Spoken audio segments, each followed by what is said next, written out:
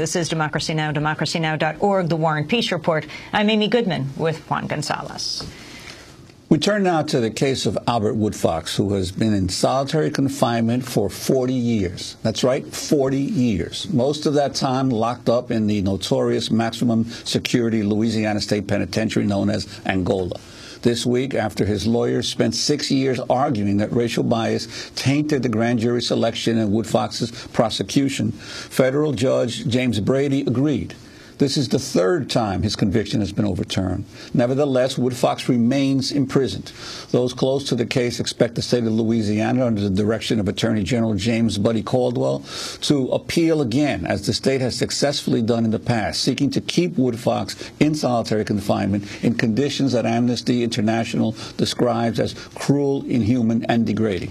Albert Woodfox is one of the Angola Three. Angola, the sprawling prison complex with 5,000 prisoners and 1,800 employees, is in rural Louisiana on the site of a former slave plantation, getting its name from the African country of origin of many of those slaves. It still exists as a forced labor camp. Woodfox and fellow prisoner Herman Wallace were in Angola for lesser crimes when implicated in the prison murder of a guard in 1972. Woodfox and Wallace founded the Angola chapter of the Black Panther Party in 71 and were engaged in organizing against segregation, inhumane working conditions, systematic rape and sexual slavery inflicted on many imprisoned in uh, Angola. This is a clip of Albert Woodfox speaking in his own words on a prison payphone in the new documentary In the Land of the Free. If a cause is noble enough, you can carry the weight of the world on your shoulders. And I thought that my cause, then and now, was noble. So therefore, he could never break me. They might bend me a little bit. They may cause me a lot of pain. They may even take my life. But they will never be able to break me. Albert Woodfox in prison. For more on this major new development in Albert Woodfox's case, we're joined by Robert King, the only freed member of the so-called Angola Three. Uh, Robert King spent 29 years in solitary confinement for a murder he did not commit. He was released in 2001 after his conviction was overturned. He's written a book about his own experience called From the Bottom of the Heap, the autobiography of Black Panther Robert Hillary King. He's featured in several films from the Angola Three, Black Panthers and the Last Slave Plantation, to a brand new film about his life called Hard Time. Robert King, welcome back to Democracy Now! Can you talk about the significance of uh, the judge ruling, now for the third time, overturning the conviction of Albert Woodfox and saying he should be free. Yes, uh, thank you, Amy. Um, I would like to speak on the significance of the ruling.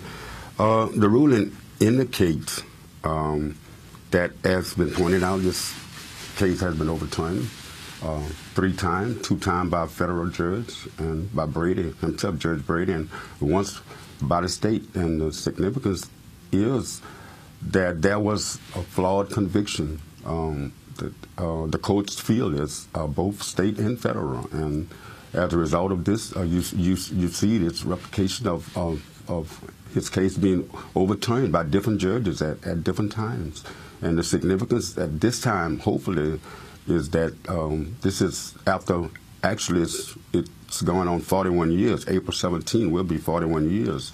Um, uh, and we're hoping that uh, this will be the end of of of this um, harassment by uh, the state of Louisiana with regards to um, Herman and Albert, uh, especially Albert Woodfox in this case here.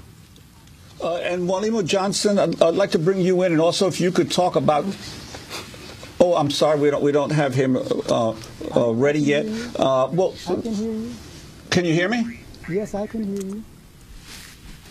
Okay. Well, the, the nearest uh, town to Angola is St. Francisville. That's where Albert Woodfox and Herman Wallace were committed for trial by a grand jury in May of 1972.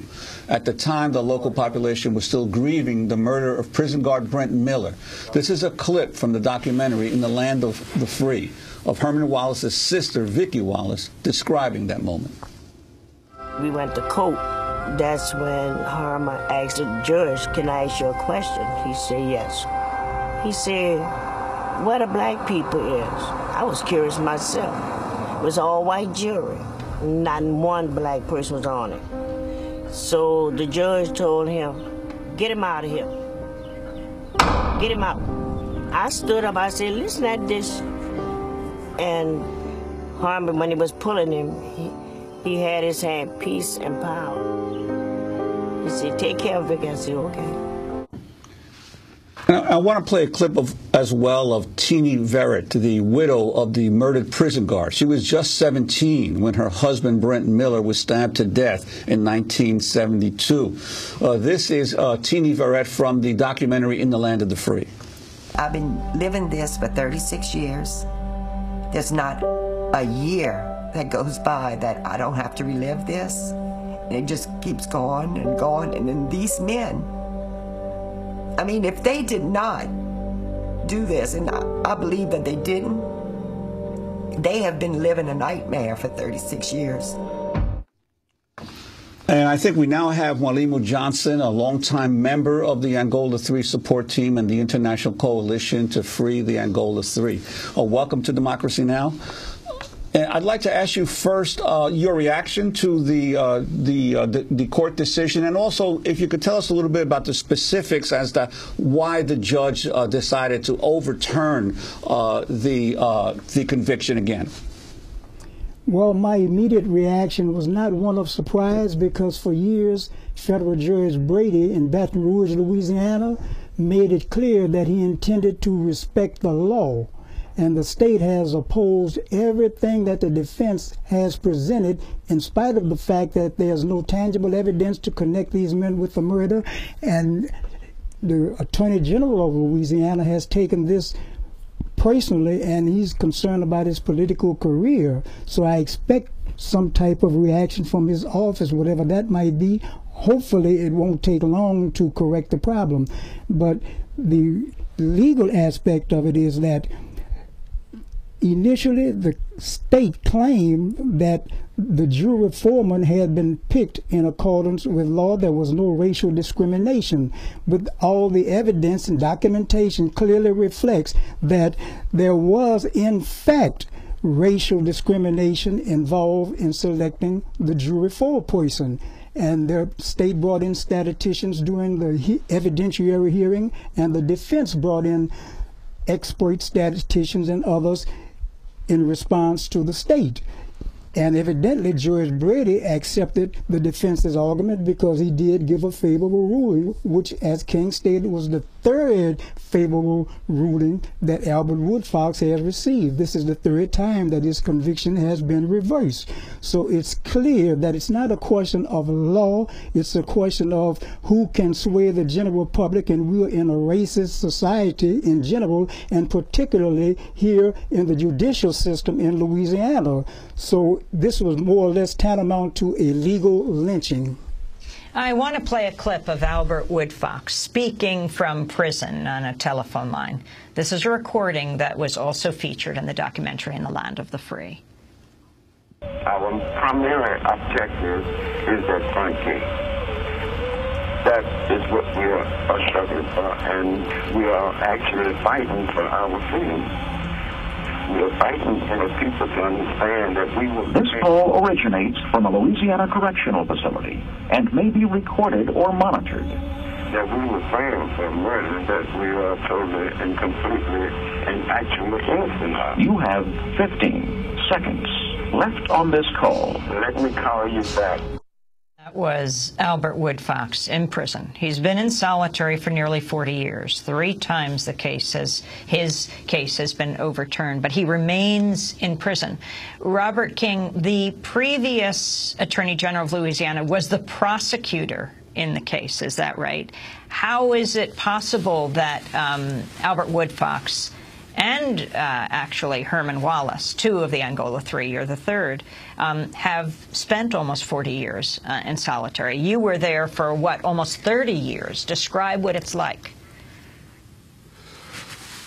Well, it, it being in solitary confinement um, is, I mean, it's, it's dehumanizing. It is awesome. It is awful. You're locked in a cell 23 hours a day, sometimes 24 uh, you're a six by nine by 12. That was my, my experience. Uh, everywhere you went, you went shackled, you were handcuffed. Um, of course, the the law may have decreed, uh, the courts may have decreed, or the administration may have decreed that you get an hour uh, on the till. Uh, this wasn't set in stone. A lot of time, you did not even get an hour out of your cell. You was there in your cell for 24 hours because if they declared a security day, they wanted to come through and shake down and harass a lot of people. They came through and they just um, abolished the, that day for for yard or for any, anyone taking a shower. So it was it was you was in the cell, you was fed, you know, uh, under a door, you you know, there were food slots. They would put the food in the slots. Sometimes they would steal. And we had uh, uh, uh, protests against their putting our food uh, trays on the floor, and they cut the slots. But nevertheless, sometimes they would still come by even after the slots were cut.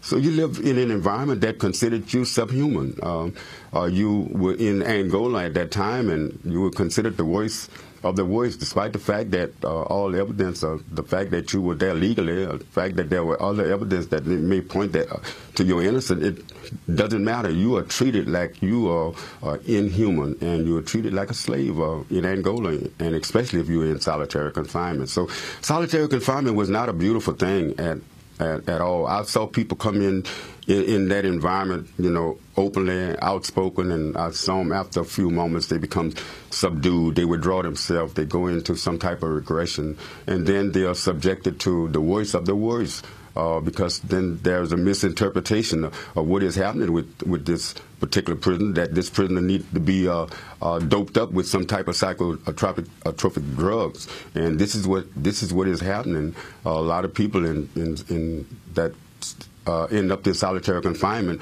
also um, end up um, in a, on the psychiatric ward uh, in Angola or some other institution that they might send them to. Um, Robert King, uh, you all three were members of the Black Panther Party. It wasn't a year later that um, uh, Wallace and Woodfox were convicted of killing a prison guard. You hear even Teenie Verrett, the widow of the guard, questioning whether, in fact, they were guilty. The significance of what you did within the prison, the organizing as a Black Panther.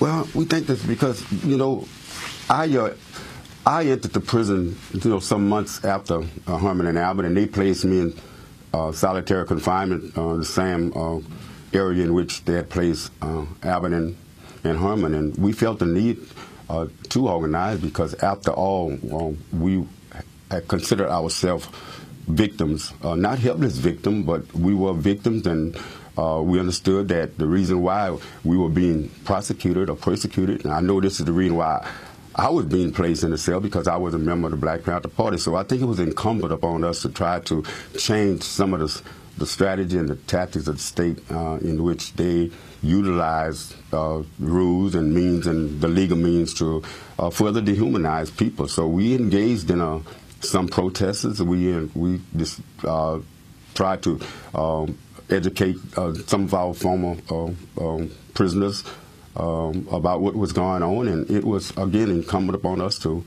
to to to not see ourselves to see ourselves as victim, but not helpless victims. Uh, we wanted to do something about this, and this is why we established uh, the teaching that we did, um, and this is why I joined Herman and Albert. Robert King, I want to thank you for being with us, and Mwalimu Johnson, thank you. Uh, Robert King from Austin, Mwalimu Johnson from New Orleans. That does it for our broadcast. Again, Albert Woodfox conviction has been overturned for the third time. Thanks so much for watching this report from Democracy Now!, your daily independent global news hour. We don't accept advertising or corporate funding, but rather rely on donations from viewers like you please make your contribution by visiting democracynow.org. We need your support today to keep bringing you this hard-hitting, in-depth reporting.